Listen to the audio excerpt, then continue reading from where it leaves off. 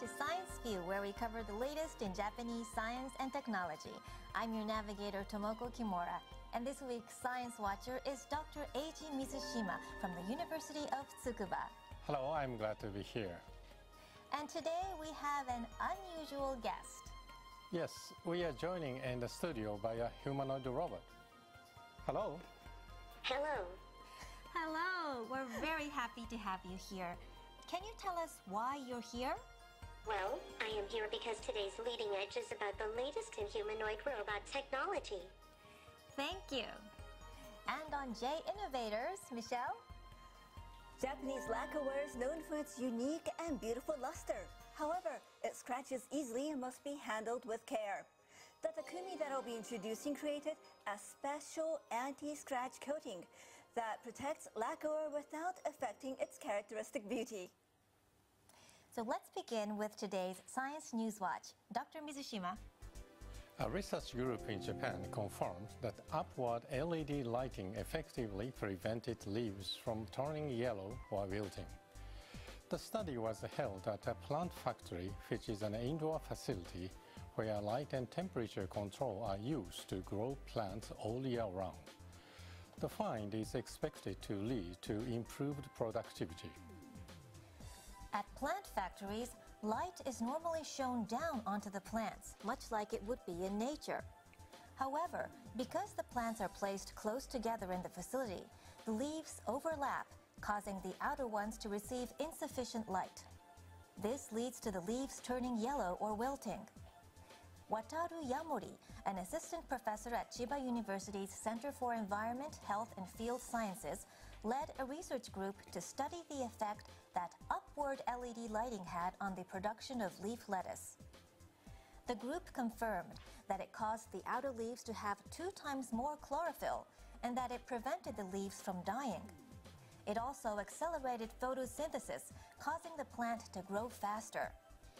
The final results showed that outer leaf waste was reduced by 40% and that there was an 18% increase in yield. The research group is now analyzing which light strengths and wavelengths are the most effective. Their goal is to develop a new cultivation system that will increase productivity. And what's next? It's time for the leading edge. That's right.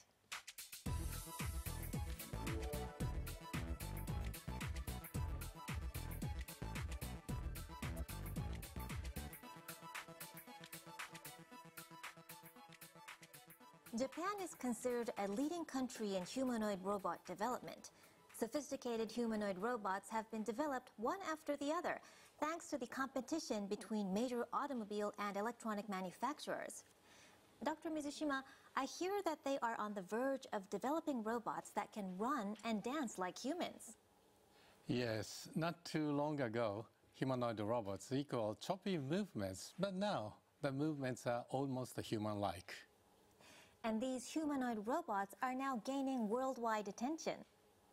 Yes, there has recently been an increased focus on robot development, and one of the catalysts for this was the nuclear accident that occurred during the Great East Japan earthquake. Because the nuclear power plant was contaminated with radioactive substances, robots are brought in to do the work. Yes, I remember seeing different robots being sent in, but I got the impression that they were having a rough time. Yes, and in a way, that kick-started global development of humanoid robots that could be used at nuclear accident sites and in difficult situations. Please take a look at this. This is a humanoid robot competition called Robotics Challenge, which was held in June 2015.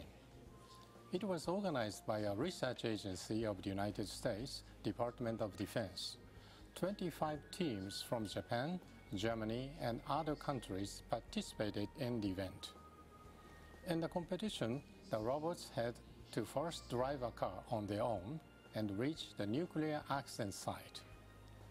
They then had to move through a rubble-strewn area with poor footing and enter the facility, open the door. It's doing a very good job. Furthermore, close a valve. Oops, that was unsuccessful. Rescue robots bring to mind the tank like ones that can plow through debris. Why do we need humanoid robots? The biggest reason is that the robots will work in spaces optimized for human activity. The interior of a nuclear power plant, for example, is designed to help people work as efficiently as possible. So humanoid robots would be more effective in a place like this. I see. What's the most difficult thing about developing humanoid robots? It's probably the balance required for bipedal locomotion, which is to walk on two legs. When a robot encounters an unexpected step or slant, it needs to be able to control and maintain its balance, otherwise it will fall over. And developing this control system is extremely difficult. Take this robot, for example. It is shaped like a human, but as you may have noticed, it does not walk on two legs. How do the recent humanoid robots handle this issue? Let's take a look. A high performance humanoid robot born from an unexpected concept can be found at this theme park. Here it is. It is 2.5 meters tall. Its movements are fluid and free from the stiffness that robots are generally known for. And that's because there is a human inside. Although some may see it as a simple mascot suit, there's more to it than that. The developers' reverse thinking led to the creation of this robot.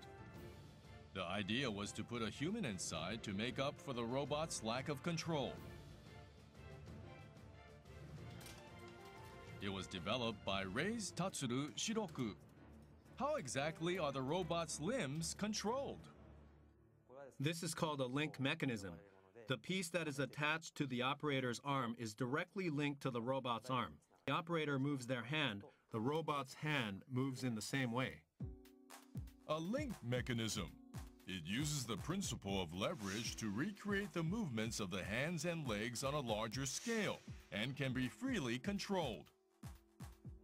When the robot grips a ball, the reaction is directly communicated to the operator's hand, allowing them to even feel the ball's elasticity.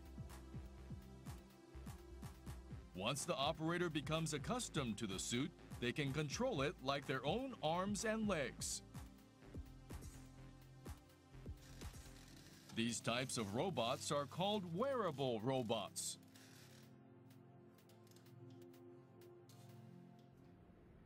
Research is underway to develop utilitarian wearable robots. This is a robotics development company that was established by a major household appliance manufacturer. Sensors attached to the joints detect human movement, and the motor provides assistance.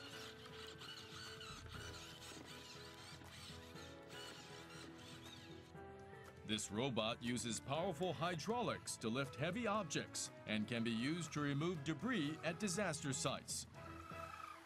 It can easily lift objects that weigh over 200 kilos. Its grip strength is 100 kilos, but it can perform delicate tasks like pouring a cup of tea without spilling it. Here's one that the developers are trying to implement within the next three years. It's also a wearable robot and is a hybrid powered suit developed to assist with manual labor. The motor assists the wearer as they begin walking, and the legs are designed to naturally move forward once the wearer establishes a walking rhythm. It can also handle running up to a speed of 10 kilometers per hour. You don't feel the weight. The machine automatically assists your movements, so it's not tiring at all. Wearable robots that assist human movement are slowly being incorporated into different workplaces. For example, at distribution centers and construction sites where heavy objects need to be lifted. Their use in agriculture and forestry is also gaining attention, as a solution to the lack of personnel caused by an aging population. Now, Michelle is trying on a wearable robot, similar to the one we just saw in the video. It's called the Assist Suit, and it's an existing product for sale. Michelle, how does it feel? Well, it's actually lighter than I thought it would be, and the motors are designed to reduce the strain on the back. Okay, let's have you try it out. First, uh, before we turn the switch on, let's have it turned off, and please try lifting this 30 kilogram suitcase. Okay, 30 kilograms, let's go. okay, this is really heavy. Yeah. I just can't lift it up. It looks really heavy. So next, let's turn the suit on and try again. Okay, so the switch is right here. I'm ready. Okay. Okay, so 30 kilos. Okay, wow, I can lift it. It's really exciting. And, well, it feels as if my back is straightening on its own, like you just saw. And because my arms are not supported, naturally I do feel the weight in my arms. But still, the lower back is the base point. And because it is supported there, it's actually very comfortable. It detects the movement of the human trunk with a position sensor, and the lower back motor rotates according to the operator's movement intentions. Thank you very much, Michelle. And we'll see you again later. I'll be back. Dr. Mizushima, the aging workforce is a serious issue in Japan. These technologies could solve the physical strength issue and have a lot of future potential. Yes, with this, the difficult part of balance control is managed by the operator, while the robot provides power as needed. We already have the technology for this, so it should only be a matter of time before wearable robots are widely used. That's great news, but the end goal is to create robots that can accomplish various tasks on their own. Dr. Mizushima, what kind of developments are going on right now? One would be in the field of software. Innovative robot control software was recently developed in Japan. This is a startup company in downtown Tokyo that specializes in robot development. The company has developed software that makes it possible for non specialists to develop humanoid robots. The humanoid robot basic control software is called V-Sido. It was developed by Wataru Yoshizaki. The greatest feature of the software is that anyone can use it to create and control a variety of robots, including humanoid robots, without being a professional programmer. Humanoid robots normally require extremely complicated control programming. Even to take a single step. Without proper programming, it flips over.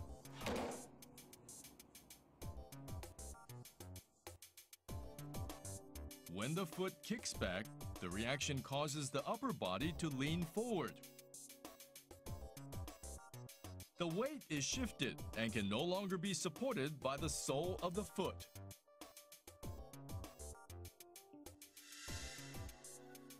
To prevent this and cancel out the reaction caused by the moving foot, the upper body and arms must move in the opposite direction.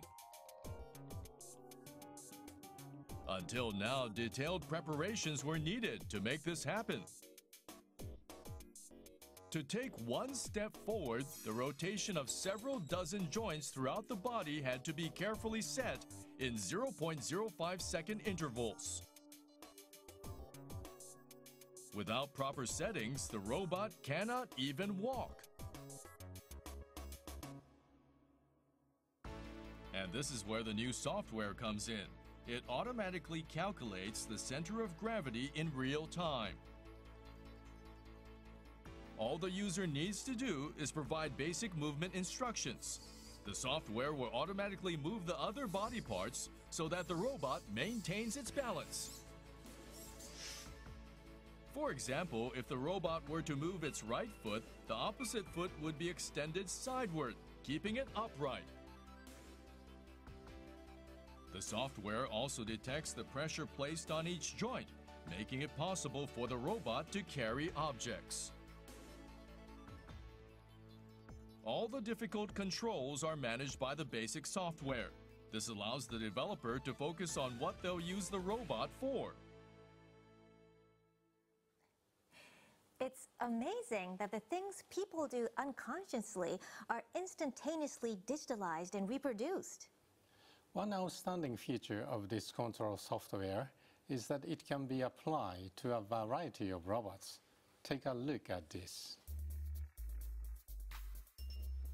Wow, it's changing shape.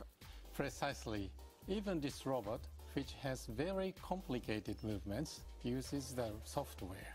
Although the center of gravity shifts in complicated ways, it firmly maintains its balance. And next, we have a big robot that is 4 meters tall. It's been used in sci-fi films before. This big robot also uses the same basic control software, so it can be controlled by anyone.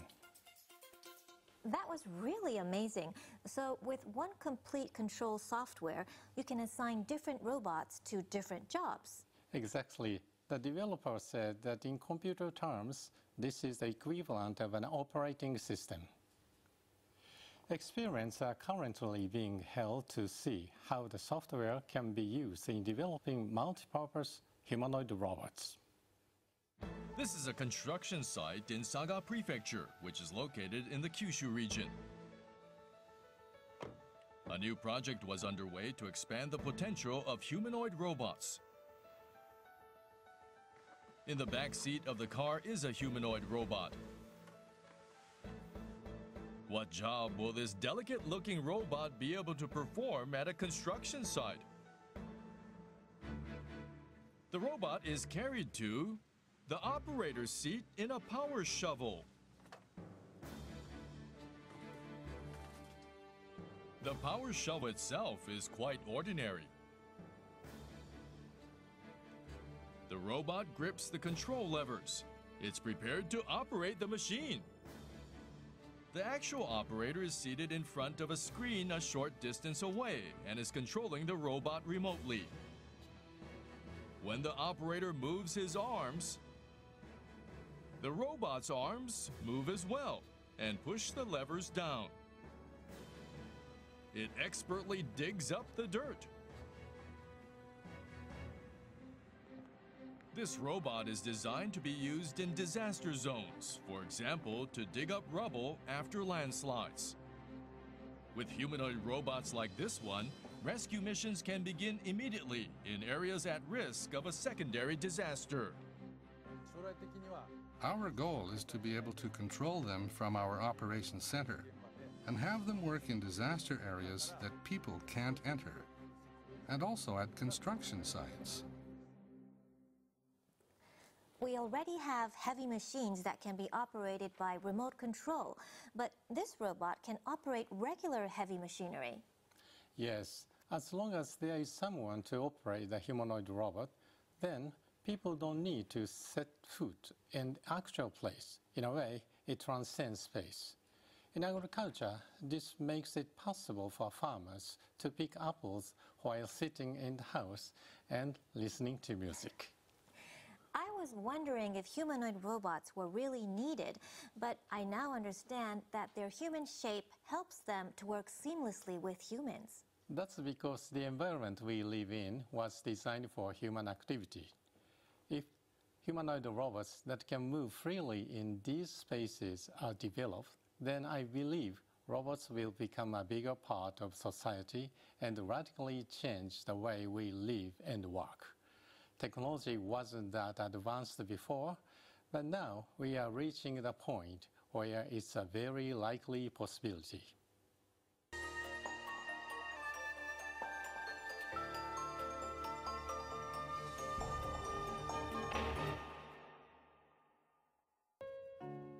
Japanese traditional craft, the lacquerware. The unique beautiful glossy finish is made by applying lacquer on wood or on synthetic resin numerous times. And a technique made by mixing silver powder with lacquer is called tamamushi nuri. It is becoming popular in many countries for its delicate gleam under dim lighting.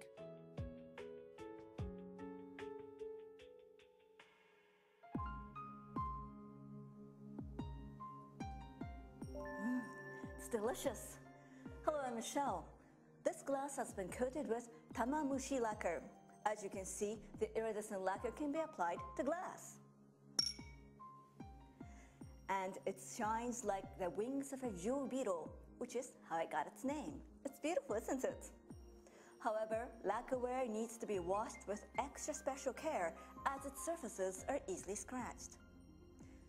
Today's Takumio innovator came up with a special coating agent which makes up for its weakness. Let's go meet him. We visited a lacquerware studio in Sendai City, Miyagi Prefecture, where Tamamushi Lacquer started. Hello, Hello, I'm Michelle Yamamoto. I'm Sauda.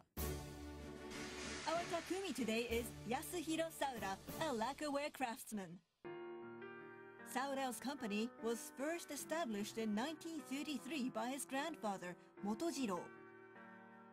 The sales increased steadily and became the biggest lacquerware manufacturer in Sendai City. Since early childhood, lacquerware was a part of the life of Sauda.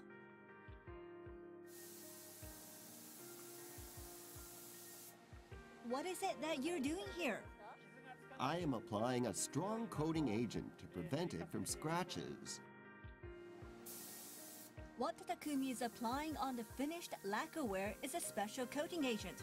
By coating with the agent, it becomes more durable while preserving its beauty. Let's look at its durability. This is a sheet with tamamushi lacquer. The left one is before coating, and the right one is after it's coated. To evaluate, we prepared a 2H pencil with lead as hard as a human nail. We applied a force of 750 grams and slid it on the surface. As a result, the sheet without the coating got scratches, but the one with the coating had none. There was a reason for the Takumi to develop this coating agent. It was the Great East Japan earthquake that occurred in 2011. Sendai City, where the studio is situated, was shaken by an enormous earthquake. It was not directly affected by the incident, but later on, it was gradually and indirectly affected. The number of tourists declined sharply, and we lost sales from tourists. So after much thought, we decided to seek markets overseas. In 2013, the Takumi put Tamamushi lacquerware on display at an exhibition held in Germany. But from Western users who sought practical tableware, he was told of its weakness and that it wasn't compatible to dishwashers and got easily scratched. So Sauda decided to develop a new coating agent.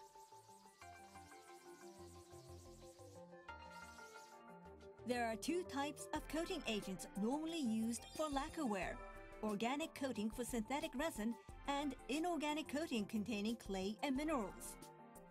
Organic coating had a weakness that it is incompatible with tamamushi lacquer and it peels off easily. On the other hand, inorganic coating is durable and does not peel off easily, but the temperature control for its application is difficult and the price was expensive.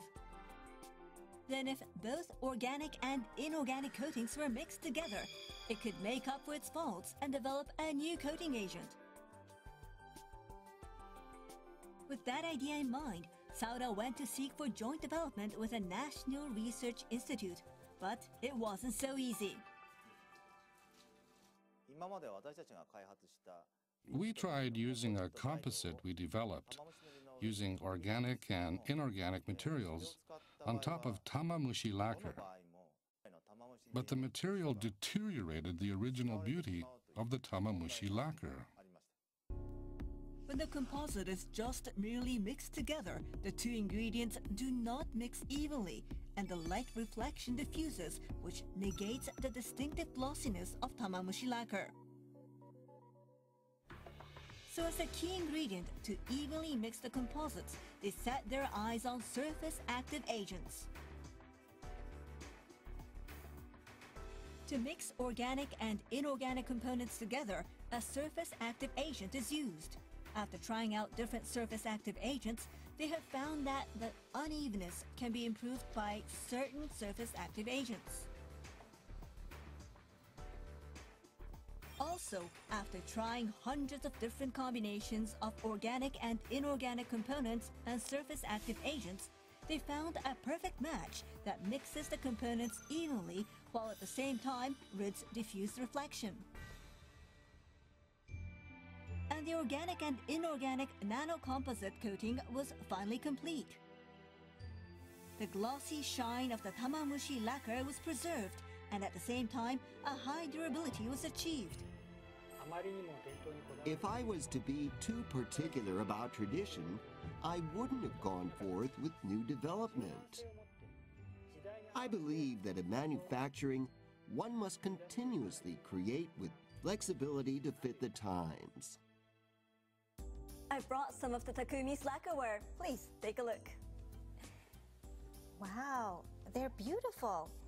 You know, when washing lacquerware like these, you normally have to use a soft sponge and be very careful. But with these, you can even put them in the dishwasher. I definitely want them. Because they are scratch resistant, they will last longer and you will be able to enjoy them for a long time. Yes, and in the future, the Takumi wants to go beyond tableware and apply Tamamushi lacquer to architectural and automotive interiors. Thank you very much, Michelle. So, Dr. Mizushima, how would you wrap up today's topic? Humanoid robots have evolved rapidly in the past few years.